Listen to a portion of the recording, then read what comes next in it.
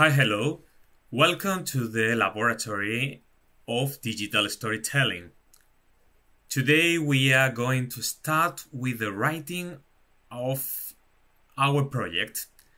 And uh, if you remember, we have been talking about the genre. So today we are going to start defining our projects in terms of genre. You might think, what does uh, the genre has to do with fairy tales? Aren't all fairy tales part of the same genre? Well, you might have a point. The fairy tales are all parts of the same kind of uh, literature or tradition. If you think about that, in fact, they are folklore. They are stories that belong to the different cultures sometimes uh, we observe, and this is one of the most important um, elements within the anthropology, that the stories can migrate from one culture to another. So actually, we are talking about universal tales. The thing is that uh, when we talk about fairy tales, we usually refer to uh, stories that have some kind of fantastic element okay? And in relation to the moral this kind of a learning point it's not really mandatory. It's not like a fable for example. Uh, the moral in the fairy tales is usually associated to the consequences of the story or the different uh, transformations that the character might suffer during the uh, narrative program. However, fairy tales can be surviving in the modern media through different genres. And because right now we are more familiar with genres within literature or within um, uh, cinema or even video games, it might be important to understand that genres are much more than uh, themes. Genres are much more than particular spatial or temporal settings. Genres are about formulas, are about narratives that are repeated, that are constructed through uh, the imitation of previous narratives. Think, for example, about horror stories. What is exactly the most important element of the horror story? Well, there might be many. You might think of horrors like psycho killers, oh, there is a person who is uh, chasing other people, a group of people, usually, you know, teenagers, etc. That's a formula, of course. Uh, another way of looking at this is as a more philosophical assumption. Horror are always stories about the human condition. And human condition is a tragedy. And of course, horror is about the creation of images. Sometimes images of blood, or uh, aberrations. Horror is about images that are difficult to process or are uh, itself very disturbing. Horror depends always on the character. We could say that many stories would depend on the character, of course. Character is one of the most important elements in storytelling. But the thing is, if you understand horror as uh, something that it's shared between you and the character.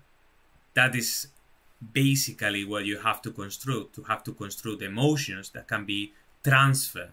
And the horror that the character is feeling is the, the horror that you want to transmit to the audience. And of course, if you think about that, there are elements of horror in many, many uh, fairy tales. For example, you create life but then the, the life reveals the life is not what you expect it to be. So it can be Jurassic Park, but it could be also Pinocchio, for example. Horror can be also uh, the fear to the uh, beloved ones, to be betrayed, or to be um, to be you know physically in danger. So horror can be as well uh, your family environment Think about Cinderella, it's uh, family abuse. Or think about Bluebeard. Horror is also tragedy when there is an element of revenge. Okay, I, I think if like uh, Hamelin uh, Piper, and of course all elements related to human condition, to get old, to die, to be lonely.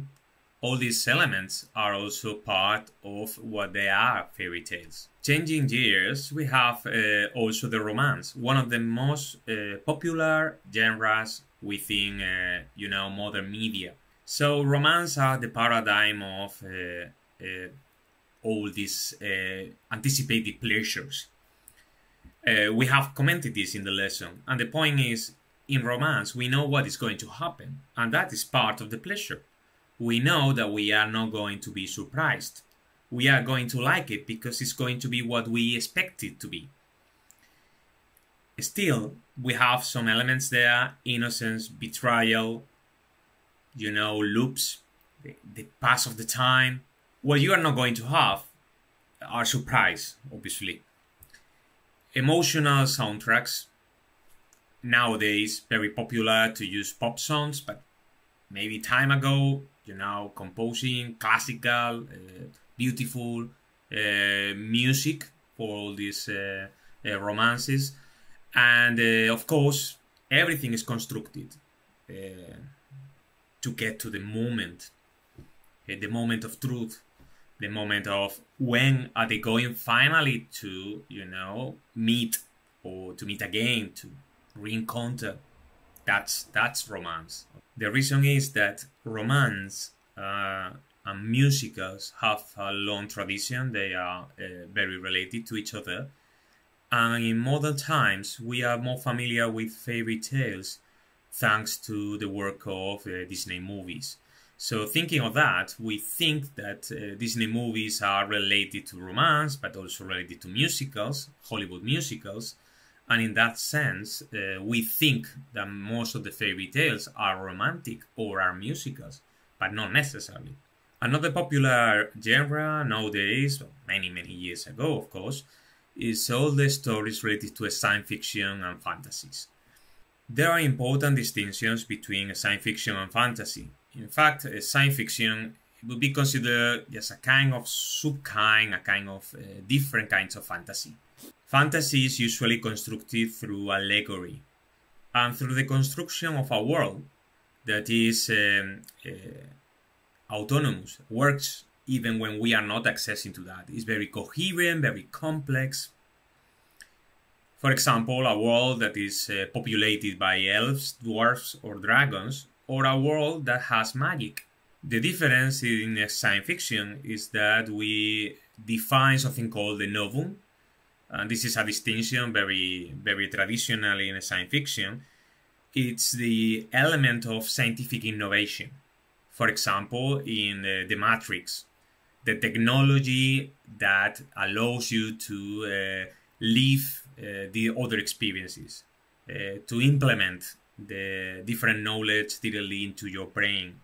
That's that's pure uh, science fiction, of course. But what about fairy tales? Think about the stories like nothing is what it seems. Okay, a world that discovers things that are against logic, or maybe because they have their own logic. It's a world that is totally parallel to ours.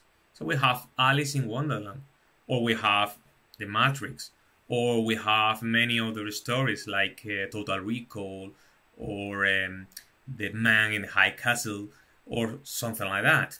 You can uh, move at the same time that the world moves, or you can move faster or you can move slower.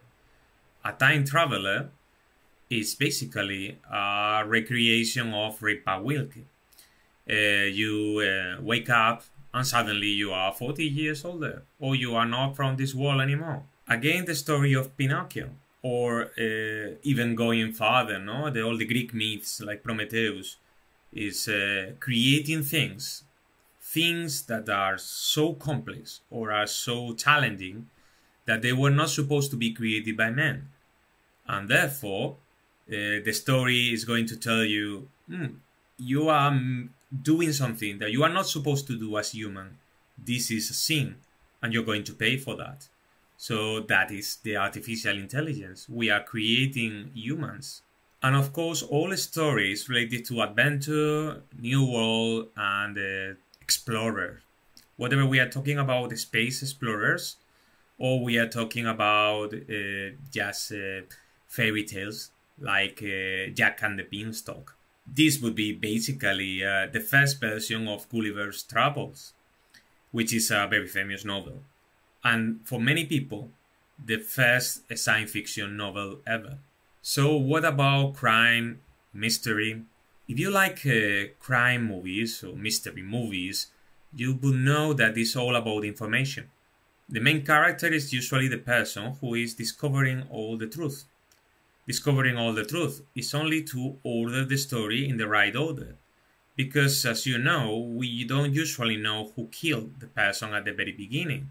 For example, in the killing, in the story of a killing, we first find the result of that event, and then later we we get all the other information. So it is very common to create this kind of puzzles, this kind of stories where not everything is ordered, not everything is clear. You need to make some effort to understand uh, what is going on. But also in crime and mystery, there are uh, plot twists and there are surprises. Everyone can be the killer. And that is something that we have also in, in some fairy tales. Think, for example, in the Red Little Riding Hood. There are surprises, there are twists, there are things you wouldn't expect. Like, for example, the wolf dressed as the grandma. Okay? I mean, obviously, it's a fantasy setting. There would be a crime, and you might not notice. You might just be the victim you might need to run. So think about Hansel and Gretel, okay, Bluebeard as well, or uh, think about uh, something that will happen in the future, but because it is not very clear, it is a prophecy, there is um, an element there. One day this will happen. You don't realize until the end of the story that the prophecy is finally coming to reality. And of course, uh, the mysteries are also things like the mystery room. Why I cannot enter in that room? We have seen some of the most common uh, genres within the modern media, and we have established parallels with other fairy tales. And of course, uh, as commented before, fairy tales depends on the folklore. So you might have thousands of thousands of examples that you would like to explore on your own, and that's perfectly fine. When you talk about genres, you talk also usually about comedy, drama, melodrama. These are uh, classical genres. In fact, comedy, drama, and tragedy are the three classical uh, kinds of drama defined by Aristotle. So basically, the, the history of literature. And again, because comedy, drama, and melodrama, and even tragedy are what we call supergenres, are classical genres, it is difficult to think that something that is a drama or a comedy is not going to be at the same time a romance or a, a thriller or a science fiction. It's going to have always these kind of elements. So that is why it is better to understand that genres are piece of hybridization. They are mixtures. They are blended always, and that's how everything uh, comes again to the exercise. You have to define your project in terms of genre, and your story, if has any anything to do with the fairy tales, it might be already having something of a genre, the genre of the fairy tales. It might have fantastic elements, it might have a moral well or not well defined. It might have uh, a setting that is uh, undefined, like once upon a time. It doesn't really matter. All these things can be or not. You decide which elements you want to keep from your genre. But now is when you can start blending, blending all these genres and trying to see what you create would it be uh, including more of a crime movie, more of a romance, more of a fantasy or a science fiction? What uh, would you like to tell about this story, about this uh, myth, this uh, fairy tale that you took uh, as a mainly starting point. But only that, only the starting point. The rest is something you have to write.